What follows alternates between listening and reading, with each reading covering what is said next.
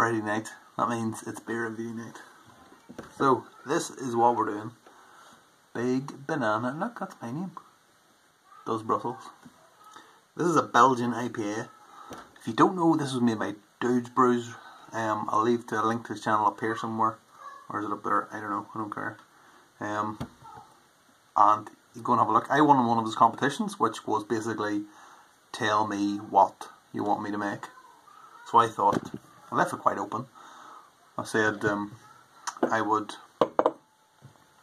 I wanted uh, him to use hops he hadn't used before, a style he hadn't done before, and kind of a yeast he hadn't done before. And this is it. Hmm, it's interesting. So yeah, then yeah, we basically ended up with a Belgian IPA. So I think it's a Belgian yeast. I don't. I really should have done my homework. I can't remember what yeast it was. It is a Belgian yeast. We've got Mandarina Bavaria and Hallertau Blanc. 6.7%, 57 IBUs. And there she is. This is my IPA glass. It's my Belgian IPA glass. I say that every time I use this glass. I say that. Not a massive amount of head on. Perhaps that's the way I poured it. I don't know. It's pretty cloudy in there. It's a lovely kind of orange colour though. It really is nice. The more you hold it up to the light, I know you can't see it, but when I hold it up to the light here, it looks great. Smell. It smells good. It doesn't smell. It doesn't smell like your typical IPA. It is fruity, but it's not kind of. I don't want to say it's citrusy fruit, but there is a bit of an orangey note of it. Probably from the um, mandarina. But there's also, but it's not citrusy as in like grapefruit and passion fruit and you know all the the new world hops. Let's say. This is very much old world hops. It actually smells a bit, um, it smells a bit winey.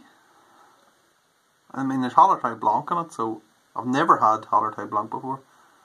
But with the name Blanc, it kind of makes me think that it does have like a, it's something like Sauvignon Blanc or that type of thing.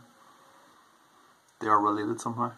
But it is very, it's quite a grapey smell of it, but really mixed in with that kind of kind of fruity type. Sweet.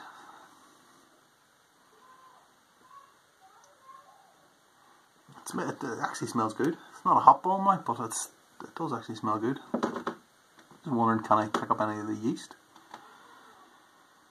It's hard to tell but I'm taking I'm getting I think it's no I think it's the that kind of white wine smell. I mean, white wine is quite fruity as well too, when you think about it. Okay, I'm going on. Cheers, Richard.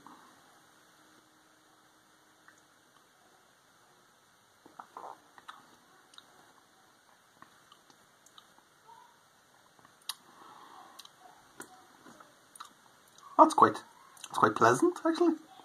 That's really, that's quite nice.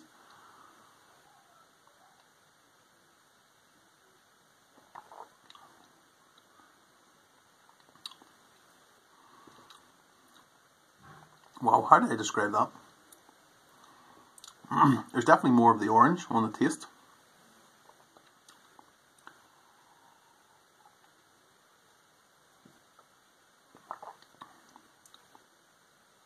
Really like carbonation.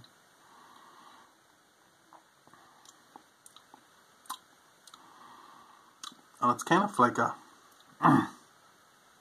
it's got a bit of a bitter finish on it. 57 IBUs. It's not better when you take it in, it's really nice and sweet and fruity. But then after it goes down, you are left with this kind of lingering bitterness. Which I suppose it is an IPA.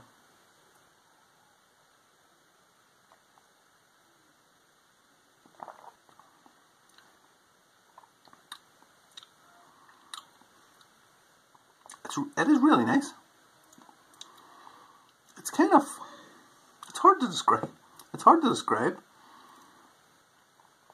At times it tastes like uh, it tastes like an like an old world beer. You know what I mean? It means uh, it tastes like you know the beers made with those kind of hops. But yet at the same time, it's got this really fruity kind of twist to it, which is obviously coming from the Mandarina Bavaria, possibly the Hallertau as well. I mean, I said it smelled like white wine, but it doesn't actually taste like it. It is quite sweet to begin with. But then the longer it lingers, it kind of starts to get a bit more bitter. And I'm trying to think of the words to describe the flavour.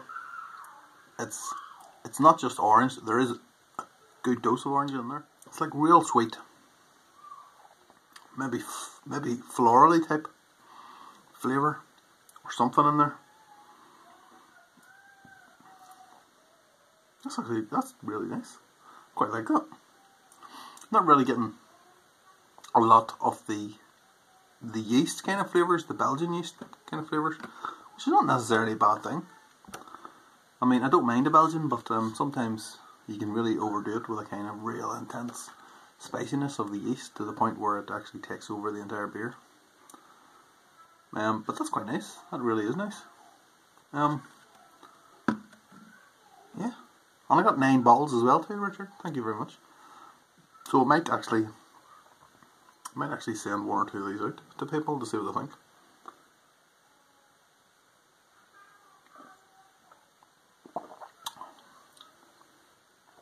It's, it is nice. It definitely is nice. It's not what I was kind of expecting. I was expecting it to be. Maybe it's the carbonation that was doing it as well. It's really light. But I was expecting it to be really kind of spicy and really, I don't know, really fruity, not fruity, but really kind of aggressively, I don't know, fruity and earthy and stuff, but it's, it's really not. It's actually really quite nice. I think that's come out quite well, Richard. I really think you're on to something.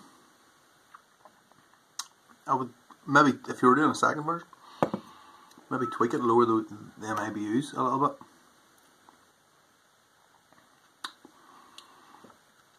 And um, you may be on something. So, yeah, I think that's it. I might have to go because I'm nearly out of beer, and you know. So, uh, yeah, I think that was a success. I genuinely think that was a, a success. I mean, I love beer. I love any kind of beer. So, uh, you were always on the winner to be honest. So yeah, I'll just say cheers and um, yeah, cheers to everyone else.